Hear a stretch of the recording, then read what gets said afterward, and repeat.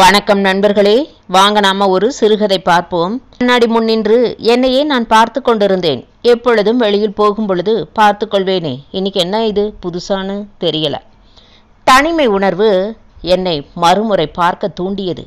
தனிமையின் மிருதுவான உறுத்தல்களும் அதனுடைய உணர்வுகளும் ஏற்படுத்தும் இனிய அசைவுகள் இன்னும் என்னை பார்க்க தூண்டுகிறது. பார்த்து கொண்டேன். சற்று திரும்பியதனால் சற்றென்று என் நெற்றியில் பட்டும் படாமல் கண் இமைகளை குறுகுறுப்பாக முன்னால் வந்து விழுந்த என் கேசம் அதை சரி செய்தாலும் மறுபடியும் என் முகத்தில் படர்ந்து விளையாடியது. முகத்தில் முடிவிழுந்து ஒதுங்குவது ஒருமித்த அழகு என்று வர்ணிப்பார்களே புன்முறுவலுடன் என்னையே பார்த்து கொண்டேன். எதற்கு இவ்வளவு கேர் எடுத்து அலங்காரம் பண்ணிக்கிற? அம்மா கேட்டாள். ஃப்ரெண்டு பார்ட்டி என்றேன். நேரமாக்காத சீக்கிரம் வந்து சேரு. அம்மாவின் கவலை. எந்த அம்மாவும் உணர்ந்து சொல்லும் சொற்கள். ஸ்கூட்டரில் போனால் கஷ்டப்பட்ட மேக்கப் முகத்தை முழுவதும் களைத்துவிடும் என்ற நினைப்பில் அம்மா கார் எடுத்துட்டு போறேன் சீக்கிரம் வந்து விடுவேன். ரோடில் கார் ஓடினாலும் வியூ மிரரில் சாலையை பார்த்ததை விட என் அழகில்தான் அதிகம் கவனம் இருந்தது. எங்கடி இருக்க? கார் ஓட்டின்ட்டு இருக்கேன். இன்னும் பத்து நிமிஷத்துல வந்து விடுவேன். எல்லாரும் வந்தாச்சா? ஆச்சுடி சீக்கிரமா ரொம்ப லேட் பண்ற. நினைத்து கொண்டேன் இவ்வளவு கார் எடுத்து என்னையே நான் ரசித்து பார்க்கும் பொழுது எவனோ ஒருவன் அந்த ஒருவன் என்னுடையவன் ஆகும்போது இப்படி ரசிப்பானா?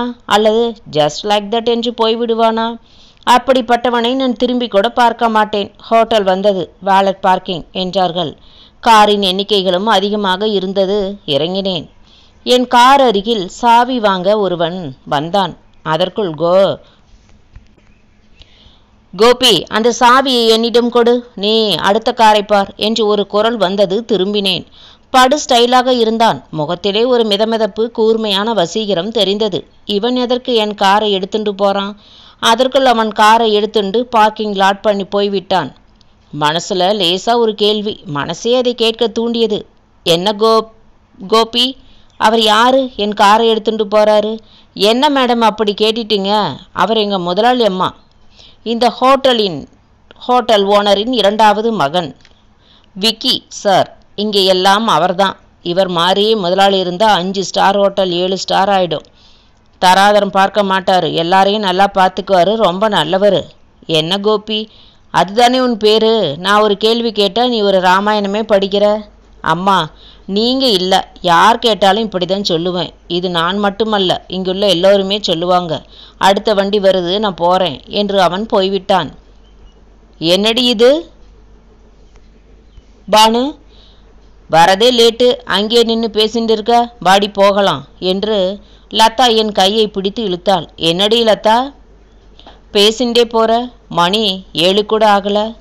பானு பாடி கேக் வெட்டுறது எல்லாம் ஒன்பது பத்து கூட ஆகும். ஆனால் இந்த மாதிரி அட்மாஸ்பியரில் நம்ம மீட் பண்ணி அரட்டை அடித்து நாளாச்சு. அந்த டைம் வேஸ்ட் பண்ண வேஸ்ட் ஆகுதே. லிஃப்ட்டுக்கு போகும் முன் மறுபடியும் கோபி. என்ன கோபி? விடமாட்ட போல இருக்கே. மேடம் கொஞ்சம் நில்லுங்க சார் நிற்க சொன்னார். எந்த சாரு? விக்கி வந்து கொண்டிருந்தான் பதவி அந்தஸ்து இளமை எல்லாம் ஒருங்கே அமைந்து அதோடு நல்ல குணமும் அமைந்து விட்டால் அந்த அழகும் மிடுக்கும் தனி அழகுதான். யாருக்குமே அவனை பார்த்து வியக்க தோணும். அதுக்குள்ளே அவள் அருகில் வந்து விட்டான் ஐயோ எப்படி இருக்கான்? அவனை நேரில் பார்த்தால் you are miss Banu please yes please any problem nothing miss Banu. உங்கள் காரை பார்க் பண்ணும்போது உங்கள் ஹெட்ஃபோன் பக்கத்தில் இந்த கிஃப்ட் பார்சல் இருந்தது. பார்ட்டிக்கு வந்திருக்கீங்க. இது அதுக்கு தான் நினைக்கிறேன். கொண்டு வந்தேன். ஓ மை காட் நான் மறந்துட்டேன். எல்லாம் எவ்வளால தான். வந்து இறங்குவதற்குள் அஞ்சு கால். அதில் இதை மறந்துட்டேன். ரொம்ப சாரி அதுக்கு நீங்கள் எது கொண்டு வந்தீங்க? கொடுத்து விட்டுருக்கலாமே. எல்எம்எஸ் பானு கார் பண்ணினது நான் I want to finish my duty Banu அசந்து விட்டால் என்ன dedication thank you very much mister Vicky என் பெயர் எப்படி என்று கேட்க நினைத்தான். அதே கேள்விதான் பானுவுக்கும். உங்கள் பணியால் கோபி சொன்னான் என்று பானு சொல்ல உங்கள் பார்சலில் பெயர் பார்த்தேன் என்று விக்கி சொல்ல இருவரும் சிரித்தன இரண்டு பதில்களும் ஒரே சமயத்தில் எதிரொலித்ததனால். அவ்வளவு பெரிய ஹாலில் காரிடாரில் அந்த இருவர் உள்ளங்களிலும் அந்த சில வினாடிகள் ஏதோ ஒரு உணர்வு உற்சாகத்துடன் அவர்களை விட்டு வெளியில் எட்டி பார்த்தது. மிகவும் கலகலப்பான ஒரு பெரிய ஹோட்டலின் விஸ்தாரமான ஹாலில் சாதாரணமாக இருவர் பேசிக்கொண்டால் அது தெரிந்திருக்காது. பார்த்தவுடனே பளிச்சென்று பதுமை போன்ற அழகு பெண். பானு இதுவல்லவோ பர்சனாலிட்டி என்று எவரையும் பார்க்கும் ஈர்க்கும் அந்த விக்கி. யாரெல்லாம் பார்த்தார்களோ பார்த்தார்களோ ரசித்தார்களோ தெரியாது. தேங்க்யூ மிஸ்டர் விக்கி என்று பானு அவனை பார்த்து சொன்னாலும் அந்த பார்வை அவளுக்கு முற்றிலும் புதிய ஒன்று அனுபவம். உணர்வுகள் ஒருமித்து வேறு எதையும் நினைத்து கூட பார்க்க முடியாமல் அவனையே பார்க்கச் சொல்லியது. லேசாக மூடிக்கொள்ளும் லிஃப்ட் கதவுகள் கூட தானாக மூடிக்கொண்டாலும் அவளுடைய அந்த முழு பார்வை அவனை அப்படியே விழுங்கி தன்னுள் இருத்தி அவனுடைய அழகான உருவம் அதையும் தாண்டி அவளிடம் போய்விட்டது. With pleasure take care Banu என்று சொல்லி லிஃப்ட் பக்கம் அவன் தாழ்வாக காண்பித்தாலும் கையை அசைத்தாலும் விக்கி தன்னை சுற்றி உள்ள பணியாட்களிடம் அடுத்து என்ன என்று பேச செயலற்று சற்று தடுமாறினான். அந்த லிஃப்ட் போவதையே பார்த்து கொண்டிருந்தான்.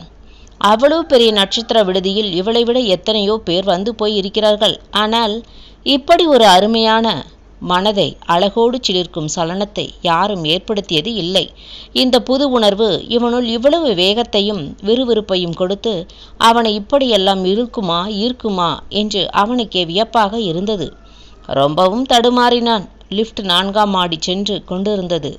மின்னொளி நான்காவது ஃப்ளோர் காண்பித்தது. அந்த கதவு திறக்கும் முன் பானு மறுபடியும் பட்டனை அழுத்தினால் லிஃப்ட் கீழே போக ஆரம்பித்தது. பானு ஏ பானு என்னடி இது? ஏதாவது ட்ரீம் வேர்ல்டில் இருக்கியா? லிஃப்ட் எது கீழே போகுது? சாரி லதா தெரியாமல் என்னை அறியாமல் பண்ணிட்டேன் ரொம்ப சாரி. லதா முகத்தை பிடித்து கெஞ்சி தப்பா எடுத்துக்காத லதா எனக்கு என்ன செய்வதென்றே தெரியல. ஏ எனக்கு தெரியும் எல்லாம் அந்த விக்கி அட்ராக்ஷன் நச்சத்தை சொல்லு அதுதானே? பானு முகத்தில் படர்ந்த அந்த வெட்கம். அழகான அந்த முகம் சிவந்து மெல்லிய புன்னகையுடன் மிளர்ந்தது. ஒரு பெண்ணின் அழகு இம்மாறி புதிய பரிமாணத்தில் ஒளி வீசும். அதுவும் அந்தரங்க தோழி அருகில் இருந்தாள்.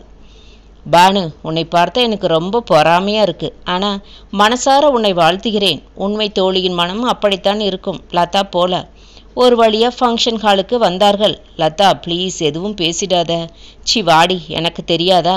ஐயோ மை டியர் பானு மீண்டும் வாழ்த்துக்கள். அவளை மறுபடியும் தழுவி கொண்டாள். அங்கு பெரிய நட்பு படையே இருந்தது. பானு பார்க்கிங் லாட்டிலிருந்து இங்கே வர இவ்வளவு நேரமா?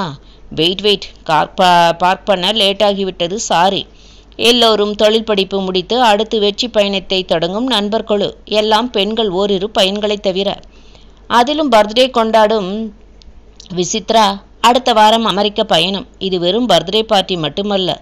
இங்கு பிரிந்தவர்கள் கூடுவது உலகில் எங்கு வேண்டுமானாலும் அமையலாம். விருந்து களை கட்ட ஆரம்பித்தது அறிக்கைகள் பாடல்கள் அதன் பின் ஆட்டங்கள் நடுவில் அரட்டைகள் அமைந்து ஆர்ப்பரித்தன. நல்ல கல்வியுடன் வெற்றி பயணம் தொடங்கும். அழகிய இந்த நண்பர்களு உண்மையான நேச பொலிவுடன் களை கட்டியது. பானு சாய்வாக சோபாவில் அமர்ந்து ஏ லதா இங்கே வாயேன் என்றாள். லதா நான் எங்கு போனாலும் நீயும் கூட வரணும் வருவே இல்லை. என்னடி இது? உனக்காக நான் எங்கு வேணாலும் இருப்பேன். ஆனால் இப்போ கொஞ்ச நேரம் முன்னால் உனக்கு துணை வந்து விட்டதே. போடி அதெல்லாம் ஜஸ்ட் லைக் தட் நான் சீரியஸாக எடுத்துக்க மாட்டேன். பார்க்கலாம். ஆனால் அவள் மனம் முழுக்க அவன்தான் இருந்தான். மனதில் மட்டுமல்ல அவள் எதிரேயும் நின்று கொண்டிருந்தான். பானுவுக்கும் லதாவுக்கும் பிரமிப்பு தாங்க முடியல. மிஸ் பானு ஒரு விஷயம். எஸ் விக்கி சொல்லுங்க. விக்கி சற்று கூர்ந்து அவளை பார்த்தான். என்ன அவள் பேச்சில் சற்று நெருக்கம் தெரிகிறதே? விக்கி அப்படிதான் உன்னை இனிமே கூப்பிடுவேன். நீ என்ன நினைச்சாலும் சரி என்று சிரித்தாள். பானு நான் நினைச்சத சொல்ல நினைச்சத நீ சொல்லிட்ட. தேங்க்ஸ் அவன் சிரிக்கவில்லை. அவன் கண்களும் சந்தோஷமான முகமும் நன்றி சொல்லிற்று. விக்கி சொல்லு நான் என்ன செய்யணும் இப்போ? பானு எங்கள் சார்பாக ஒரு கேக்கும் கிஃப்ட்டும் உன்கிட்ட கொடுத்து கொடுக்கலாம் என்று வந்தேன். அப்புறமெல்லாம் சரியா இருக்கான்னு பார்க்க வந்தேன். அதற்குள் லதா விக்கியிடம் விக்கி நீங்களும் இதில் ஜாயின் பண்ணிக்கோங்க. நான் இதுவரை எங்கள் ஹோட்டலில் நேரடியாக எந்த ஃபங்க்ஷன்லையும் கலந்து கொள்ள மாட்டேன். ஆனால் இன்னைக்கு கலந்துக்க ஆசை. அதுக்கு காரணம் உனக்கு தெரியும் லதா என்று அவளிடம் சிரித்தான். பானுவுக்கு வெட்கம். முகம் முழுக்க படர்ந்தது. அவனை ஏறிட்டு பார்த்தாள் அந்த பார்வை கதை சொல்லவில்லை. அவள் காதலை காவியமாக சொல்லியது. தேங்க்யூ என்று ஆரம்பித்தாள். ஜிய பானு நான் உனக்கு இனிமே விக்கி இந்தா உன்னுடைய கார் டோக்கன் கோபி மறந்துட்டான். அதை கை நீட்டி வாங்க வெட்கப்பட்டால் விக்கி உரிமையுடன் அவள் கையை மெதுவாக தன் பக்கம் இழுத்து அந்த கார் டோக்கனை அழகான மிருதுவான அவள் கையில் வைத்து மூடினான். அவள் முகமோ அவனை அன்போடு பார்த்து கொண்டிருந்தது. தேங்க்யூ விக்கி மூடின கையை திறக்க மனமில்லை அவளுக்கு. அது வெறும் டோக்கன் இல்லை. அவன் இதயத்தை அவள் கையில் வைத்து மூடிவிட்டான். திறக்க மனமில்லை. பானுவுக்கு கண்கள் படபடத்து கொண்டிருந்தன. இந்த அருமையான காதல் காட்சியை லதா மட்டுமல்ல அனைவருக்கும் இனிய விருந்தாக இருந்தது. மௌனம் கலைந்தது விசித்ரா வந்தாள். Hello mister Vicky congrats please join us with your dear Banu நீங்கள் கொடுக்குற கிஃப்ட்டை எடுத்துக்கிறேன் வித் ப்ளஷர் ஆனால் இந்த கேக்கை நீங்கள் இருவரும் தான் கட் பண்ண வேண்டும். இரு காதலர்களின் இணையும் இனிய நேரம். கேக்கை எடுத்து போய் இரண்டு நிமிஷத்தில் ஏதோ எழுதினார்கள். பர்த்டே பேபி விசித்ரா கேக் வெட்டவில்லை. முதலில் பானுவையும் விக்கியையும் கட் பண்ண அழைத்தார்கள். இருவரும் இணைந்து கேக் வெட்டும் டேபிளுக்கு போனாலும் கேக்கை பார்த்து பிரமித்து ஒருவரை ஒருவர் பார்த்து கொண்டன. கேக் வெட்ட மனமில்லை. ஏன்? கேக்கில் பொறிக்கப்பட்டுள்ள அருமையான எழுத்துக்கள் happy day love with Banu Vicky என்று அதை கலைக்க மனமில்லை. எல்லா கண்களும் அவர்களையே பார்த்து கொண்டிருந்தன. Come on baby do it Banu என விசித்ரா லதா மற்றும் அனைவரும் ஒரே கோரஸ் ஆக சொன்னார்கள். கேக் வெட்டும் கத்தியை விக்கி எடுத்து கொடுக்க பானு அவனையே பார்த்து கொண்டிருந்தாள். அடுத்த கணம் கத்தியை கீழே வைத்துவிட்டு விக்கி மைடியர் முழு மூச்சில் தாவி அவனை இறுக கட்டி தழுவி முகத்தை அவன் நெஞ்சில் புதைத்து கொண்டாள். விக்கி சற்றும் எதிர்பாராத செயல் இது. அவன் நிதானத்திற்கு வர கொஞ்ச நேரம் ஆயிற்று. மெதுவாக அவளை தன்னோடு இணைத்து அணைத்து இறுக்கிக் கொண்டான். சட்டென்று நேர்ந்த இந்த காதல் காட்சிகள் உறைந்துவிட்ட நண்பர்களோ நிதானித்து மெதுவாக கைத்தட்ட ஆரம்பித்தன. நெஞ்சிலே நின்றவனை நேரில் மிக அருகில் அன்புடன் பார்த்த பானு அவன் நெஞ்சில் முகத்தை புதைத்து கொண்டதில் மனநிறைவு கொண்டாள். பார்ட்டி முடிந்தது. இப்படி மறக்க முடியாத நேரமாக இந்த இந்த நாள் அமையும் என்று பானு விக்கிக்கு மட்டுமல்ல அனைவருக்கும் ஆனது. பானு இன்று சாயங்காலம் வரை என் லைஃபில் இப்படி ஒரு மிராக்கள் நடக்கும் என்று கொஞ்சம் கூட எதிர்பாராதது. ஆனால் என்னால் இனிமே தனியாக இருக்கவோ செயல்படவோ நிச்சயம் முடியாது. என் வேலைகள் சரிப்பட்டு நடக்குமா என்பது இனி ஒரு பெரிய கேள்வி. ரொம்ப சிரமப்பட போகிறேன் லைஃப்பில் இப்படி ஒரு அனுபவம் வந்தால் அதனுடைய விளைவுகள் இவ்வளவு பவர்ஃபுல்லாக இருக்கும் என்பது இப்போ தான் புரியுது. ஐயோ Banu. Be with me always darling சீக்கிரம் வந்துடு. விக்கி நீ சொல்லிட்ட. என்னால் சொல்லக்கூட முடியலை. லவ் கனெக்ஷன் இவ்வளவு படுத்துமா? இன்னும் ஒரு நாளே ஆகலை. இப்படி இருக்கேனே. நான் என்ன செய்ய போகிறேன் அன்பிலீவபிள் கில்லிங் கொஞ்சம் பொறுத்துக்கோ விக்கி. பானு லைஃப் என்பது நம்ம ரெண்டு பேர் மட்டுமல்ல. நமக்கு ஃபேமிலி சுற்றம் எல்லாம் உண்டு. சீக்கிரம் ஒரு முடிவு வரும் வரை நான் பொறுத்திருக்கிறேன். ஆனால் இந்த விக்கி கூட பானு என்ற அந்த ரெண்டு எழுத்து எப்போதும் அழகா பத்திரமாக இருக்கும். நான் கொஞ்ச நேரத்தில் வரேன் என்று சொல்லி போய்விட்டான். விசித்ரா லதா மற்றும் நண்பர் குழு எல்லோரும் பானுவை சூழ்ந்து கொண்டன. பானு என்று ஆச்சரியமாக பார்த்தார்கள். நேற்று வரை பார்த்த பானு இல்லை அவள். எப்படிடி பானு? என்னாச்சு உனக்கு? என்னை ஒன்றும் கேட்காதீங்க. பார்க்கிங் லாட் வரும் வரை நான் பானுவாகத்தான் இருந்தேன். அப்புறம் நடந்தது? ஐயோ don't ask me again I was தரோ தரோலி சம்வர் நான் எங்கேயோ வேற லோகத்துக்கு போயிட்டேன். என்னால் திரும்பி வந்து அந்த பானுவாக வர முடியாது. ஆக முடியாது. இப்போதான் அப்பா அம்மா நினைவு வருது. உங்கள் ஞாபகம் வருது. Please help to be normal ஆனால் அது முடியாது. லதா என்று சின்ன குழந்தை ஓடி வருவது போல் ஓடி வந்து கட்டி கொண்டாள். ஆனால் அவள் குழந்தை அல்ல. இந்த ஒரு சிறுநேரம் எப்படிப்பட்டவரையும் ஏன் இப்படி அசைத்து பார்க்கிறது? அலைகளடியில் முழுகி தெளியும் தெரியும் கோளான் கற்கள்தான். மறுபடி மறுபடியும் காதல் அலைகளினால் முழுகி திணற வேண்டும். ஒவ்வொருத்தராக விடைபெற்று கொண்டன. பானுவும் லதாவும் தான் பாக்கி. விக்கி எங்கே காணோம்? லிஃப்டில் இறங்கி பழைய இடத்திற்கு வந்து விட்டார்கள். மறுபடியும் கோபி. மேடம் டோக்கன் வேண்டாம். கார் இங்கே வரும். நில்லுங்க. பார்த்தால் விக்கி கார் ஓட்டிண்டு வந்தான். பானுவுக்கும் லதாவுக்கும் ஆச்சரியம்.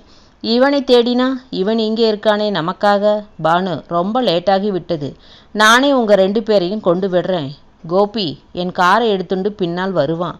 லதா உன்னை எங்கே ட்ராப் பண்ணுன்னு சொல்லு. அப்புறம் பானுவை ட்ராப் பண்ணுறேன் விக்கி லதா என்னோட வந்துட்டு நாளைக்கு அவள் வீட்டுக்கு போவா. கார் போய் கொண்டு இருந்தது விக்கி என்ன? இந்த டோக்கனை நானே வச்சுக்கட்டுமா? நீ என் கையில் கொடுத்தது. விக்கி காரை நிறுத்திட்டான். பானு எவ்வளவு அன்பு வச்சிருக்க? என் மேலே ரொம்ப பியூர் நான் ரொம்ப கொடுத்து வைத்தவன் என் செல்ல குழந்தை. பானு நீ ஓ my god I am much gifted இந்த ஒருங்கிணைந்த உள்மனது உரையாடலை கேட்டுக்கொண்டிருந்த லதா பானு நீ ரொம்ப கொடுத்து வைத்தவள் என்று அவள் காதருகில் சொன்னாள். இரவு பதினோரு மணிக்கு மேல் வீட்டு வாசலில் ரெண்டு கார்கள். பானுவின் அம்மா தூங்கவில்லை.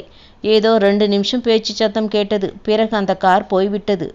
லதாவும் பானுவும் உள்ளே வந்ததும் என்னடி பானு இதுதான் நேரத்தோடு வருவதா? நல்ல வேளை இவளும் உன் கூட வந்ததுனால கொஞ்சம் நிம்மதியாக இருக்கு. அது என்ன இன்னொரு கார்? அம்மா லேட் ஆனதுனால ஹோட்டலிருந்து இன்னொரு கார் துணைக்கு அனுப்பி வைத்தார்கள். எங்களை கொண்டு விட்டு போகிறார்கள். அம்மா சமாதானம் அடையவில்லை. பானு அப்பா வேற ஊர்ல இல்லை நீ கொஞ்சம் பொறுப்பாக இருக்கணும். என்னடி லதா நீ சொல்ல மாட்டாயா? ஆன்ட்டி இந்த பார்ட்டி தான் நாங்கள் எல்லாரும் கடைசியாக பார்த்து மீட் பண்ணுற அக்கேஷன் இதுக்கப்புறம் யார் யார் எங்கே இருப்போம் தெரியாது. சரி நேரமாச்சு தூங்க போங்க. என்னடி லதா ஏற்கனவே ஏகப்பட்ட கேள்வி கேட்குறாங்க என் விஷயம் வேற. எனக்கு எதுவும் சரியாக படலை. பயமாக இருக்கு. அப்பா வேற இல்லை. நான் பாட்டுக்கு லவ் பேர்ட் போல ஆட்டம் போட்டுட்டேன். சும்மா ரெடி எல்லாம் நல்லபடியாக நடக்கும். தூங்கு.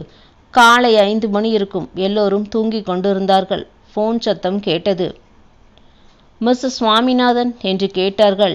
எஸ் நான் மிஸ்ஸஸ் சுவாமிநாதன் பேசுகிறேன் மேடம் நான் டாக்டர் வந்தனா சுரேஷ் பேசுகிறேன் நியூ ஜெர்சியிலேருந்து. மிஸ்டர் சுவாமிநாதனுக்கு மைல்ட் அட்டாக். இங்கே ஹாஸ்பிட்டல் அட்மிட் பண்ணியிருக்கோம். பதட்டப்படாதீங்க. நாங்கள் பார்த்துக்கிறோம் ஆனால் நீங்களும் உங்கள் டாக்டரும் புறப்பட்டு வாங்க. உங்களையும் மகளையும் பார்க்க பிரியப்படுறாரு. அம்மா மிஸ்ஸஸ் லட்சுமி சுவாமிநாதன் தைரியமானவர்தான். ஆனாலும் முகத்தில் நீண்ட கவலைக்குறி. என்னவெல்லாமோ மனதில் தோன்ற ஆரம்பித்து விட்டது. மாடிக்கு சென்று பானுவை எழுப்பினாள். பானு பானு எழுந்துரு. லதா நீ எழுந்துரு. அப்பாவுக்கு உடம்பு சரியில்லையா? Mild attack. நியூ ஜெர்சியில் அட்மிட் பண்ணியிருக்காங்க பானு கண் விழித்து பிரமை பிடித்தவள் போல் இருந்தாள். நேற்று தேவதையாக இருந்தேன். இன்று இப்படியா? இப்படி ஒரு செய்தியா கடவுளே? லதாவை காணவில்லை. லதா லதா எங்க போயிட்ட? பானு அழ ஆரம்பித்தாள். இப்போதான் குடும்பம் நல்ல நிலையில் இருக்கிறது. அதற்குள்ள இப்படி ஒரு சோதனை. லதா ஓ லதா ஓடி வந்தாள். பானு கவலைப்படாத.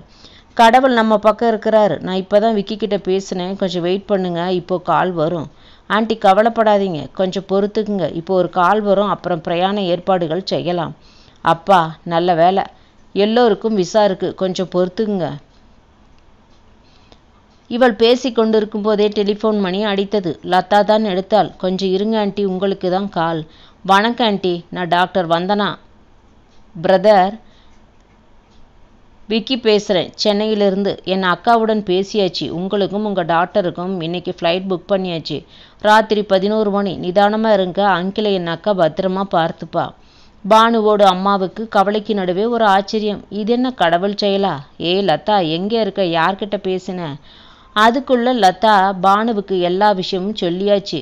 ஆன்ட்டி இதோ வந்துட்டேன். பாவம் மாடிக்கும் கீழேயும் இந்த பெண் லதா ஓடிக்கொண்டு இருந்தாள் ஆன்ட்டி நேற்று நாங்கள் பார்ட்டி நடத்தணுமே. அது இந்த டாக்டர் வந்தனா அப்பாவுடையது. இப்போ உங்ககிட்ட பேசினது டாக்டருடைய தம்பி விக்கி. நேற்று ராத்திரி எங்களை கொண்டு வந்து விட்டவரும் அவர்தான்.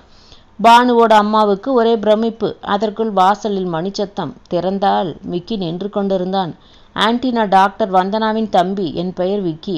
உள்ளே வாப்பா. உட்காரு. ரொம்ப உபகாரம் பண்ற. திக்கு பிடிச்ச கவலையிலும் பயத்திலும் திக்கு பிடிச்சி ப ப கவலையிலும் பயத்திலும் இருந்தேன். உங்கள் அக்கா ஃபோனுக்கு அப்புறம் உன் ஃபோன் வந்ததும் கொஞ்சம் தெம்பு வந்தது. ஆன்டி நான் வந்தது உங்கள் பாஸ்போர்ட் உங்கள் டாட்டர் பாஸ்போர்ட்டும் வேணும். டிக்கெட் வாங்கணும். தேங்க்ஸ் விக்கி அதோட செக்கும் தரேன். ஆன்ட்டி அதெல்லாம் அப்புறம் பார்த்துக்கலாம். முதல்ல நீங்கள் அங்கிளை பார்க்கணும். அது போதும். லதாவும் பானுவும் ஓடி வந்தார்கள். விக்கி அவர்களிடம் வெறும் ஹலோ சொல்லிவிட்டு அவ அம்மாவிடம் பேசினான். பானுவுக்கு புரிந்து விட்டது. இது காதல் பேசும் சமயமல்ல. பானுவின் அம்மா பாஸ்போர்ட்டுடன் செக்கும் கொண்டு வந்தாள். ஆன்ட்டி உங்ககிட்ட வாங்கிக்காம இருக்க மாட்டேன். லதா நீ என்னோட வந்தா டிக்கெட் கொடுத்து வர்றேன். அப்போ நானும் வரேனே என்று பானு ஆரம்பித்தாள். இல்லை நீங்கள் அம்மாவோட துணைக்கு இருங்க. அவங்க தனியாக இருக்க வேண்டாம். லதா வந்தால் மட்டும் போதும். ட்ராவல்ஸ் எங்களது தான் சீக்கிரம் முடிஞ்சிடும். பானுவும் அம்மாவும் அவர்கள் போவதையே பார்த்து கொண்டிருந்தன. நல்ல பிள்ளை என்று அம்மா சொல்லுவதை ஆசையோடு கேட்டுக்கொண்டிருந்தால் அதற்குள் வேலையாட்களும் சமையல் மாமியும் வந்துவிட்டன. பானு அம்மா அவர்களுடன் பேசி கொண்டிருந்தாள். பானு குளித்து ரெடியானால் எங்க அந்த லத்தாவை காணோம்? எங்கடி என்னை கழட்டி விட்டுட்டு போயிட்ட? எனக்கு தனியா இருந்தா அப்பா நினைவு வருது. சீக்கிரம் வா. பானு நான் என் வீட்டில் இருக்கேன். கொஞ்ச நேரத்தில் வரேன். இல்லை லதா நீ அங்கேயே இரு நான் வரேன். அம்மா லதா வீட்டுக்கு போய் பாஸ்போர்ட் வாங்கிட்டு வரேன். சரி போ டாக்ஸியில் போ. சரி அம்மா கார் உனக்கு தேவையாக இருக்கும். பானு கிளம்பினாள். பானு நேராக ஹோட்டல் சைடில் டிராவல்ஸ் இருக்கு. வா நானும் அங்கே வரேன் என்றாள் லதா அவள் சொல்ல விக்கி உட்கார்ந்திருந்தான். ஏன் பானு நீ வந்த உன்னை பார்க்கத்தான். பானு அம்மா பாவம். என்னை நீ எப்போ வேணாலும் பார்க்கலாம். முதல்ல அப்பாவை கவனி. விக்கி பானு அழ ஆரம்பித்தாள். சரி சரி. இதுக்கு போய் அலற. நம்ம போல தான் அப்பாவும் அம்மாவும். நான் சொன்னதுக்கு அலறையா? விக்கி எனக்கு பயமா இருக்கு. நீயும் கூட வா. என்ன பானு? நம்ம என்ன பெங்களூருக்கா போகிறோம் அமெரிக்கா? நீ குழந்தை தான் சமத்த அம்மா கூட போயிடு. அங்கே அக்கா மாமா உன்னை நல்லா பார்த்துப்பாங்க. போயிட்டு வா. எல்லாம் நீ நினச்ச மாதிரி நடக்கும். என் செல்ல சமத்து என் பானு தலையை கோதி கண்ணீரை துடைத்தான். அதற்குள் லதா வந்து விட்டாள். லதா இவளை கூட்டிட்டு போ. ரொம்ப அடம்பிடிக்கிறா எப்படி சமாளிக்க போறேன்னு இந்த குழந்தைகிட்ட.